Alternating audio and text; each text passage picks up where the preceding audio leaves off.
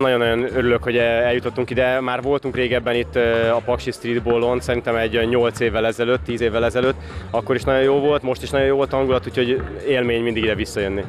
A FaceTime bemutatója is színesítette a tavalyi Paksi programot, idén már 28. éve, hogy Magyarországon is pattog a labda.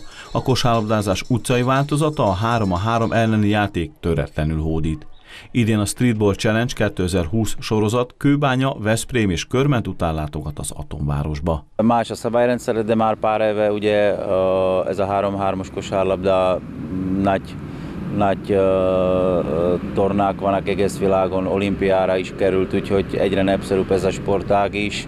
Uh, nála meg, mikor megkosaraztam, akkor mindig kiegészítés volt, de most már tényleg vannak, vannak uh, profi kosarasok, akik erre specializálódnak.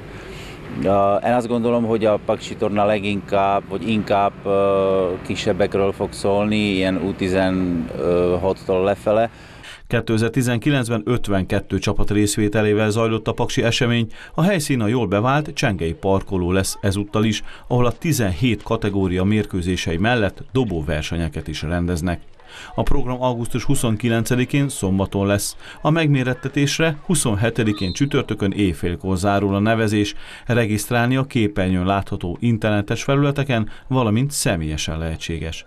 A Streetball Challenge 2020 rendezvény sorozata tervek szerint szeptember 19-én Budapesten a Hősök terén a nagy döntőkkel zárul.